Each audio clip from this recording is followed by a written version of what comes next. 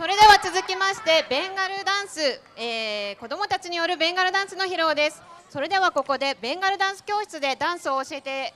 いただいております新藤理恵さんにマイクをお渡しします。新藤さん。えー、皆様こんばんは。こんにちはでしょうか、えー、ベンガルダンスクラスの新藤理恵です、えー、これから、えー、子どもたちによるベンガルダンスを披露します、えー、今日踊ってくれるのは日本人の女の子6名。そしてエクマットラの女の子6名です。日本人の女の子のクラスは昨年の5月にスタートし週に一度練習をしてきました。エクマットラの女の子たちのクラスはスタートしてからちょうど2年になります。今回の春祭りのためにえ、えこの演目は3ヶ月前から練習してきました。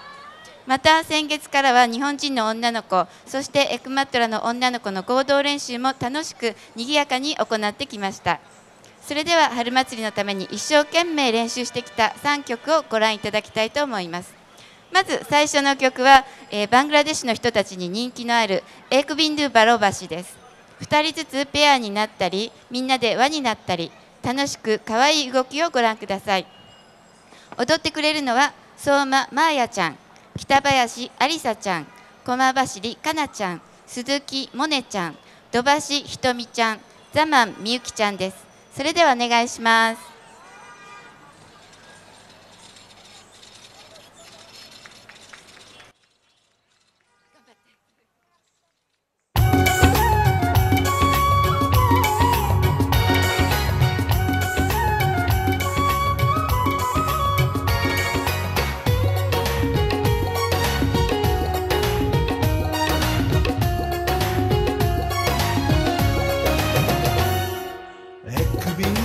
ভালোবাসা আমি